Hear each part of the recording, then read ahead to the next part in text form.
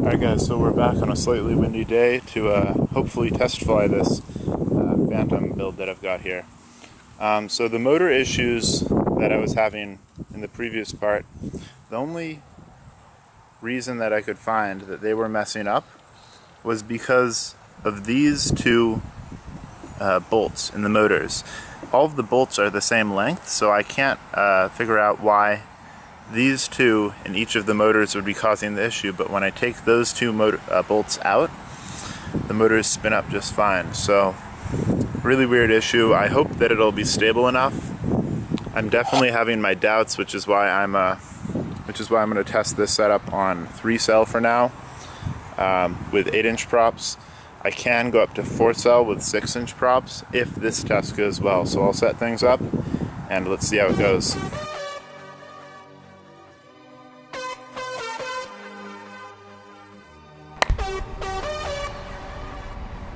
So let's see how this goes.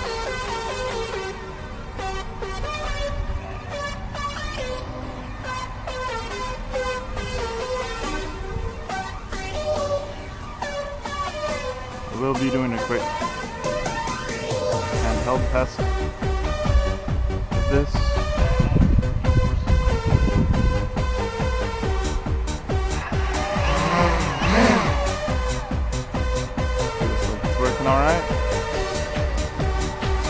Give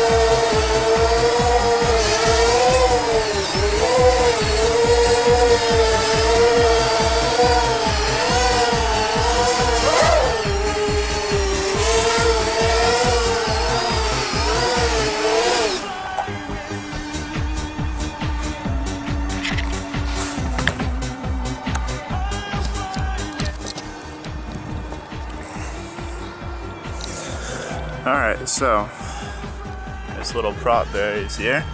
But